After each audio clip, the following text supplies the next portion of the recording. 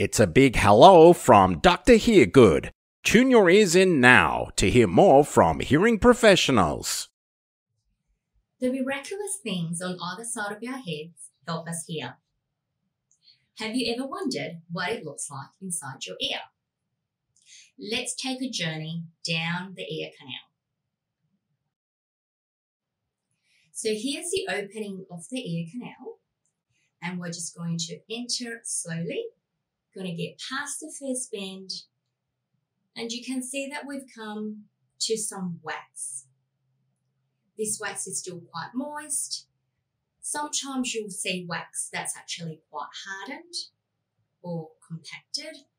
And it's not uncommon also to see wax that it's much darker coloured than this one.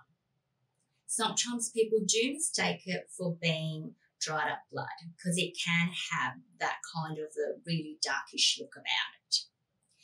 Once we get past this wax, we go further down the ear canal and at the very end you'll now see a nice, quite translucent, taut piece of skin that's been stretched across at the very end. This is actually our eardrum and this is a really healthy looking eardrum.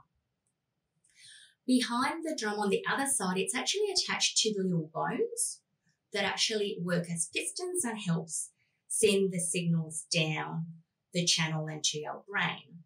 If you look really carefully, you'll probably see that there is actually movement of that eardrum as the little bones actually move about. So let's have a look at how sound waves travel down our ear.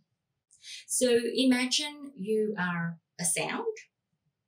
You're going to travel down the ear canal. And when you hit the eardrum, that's going to make that eardrum move backwards and forwards. And the little bones behind it again will move backwards and forwards, much like a piston. This will then send what we call traveling waves down in that actual hearing organ, which is called the cochlea or inner ear.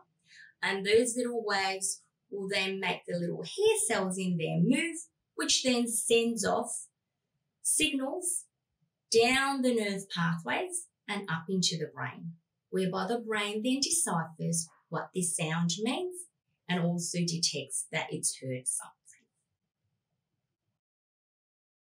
Thank you for listening to our expert audiologist. If you want to hear from me, don't forget to click the subscribe button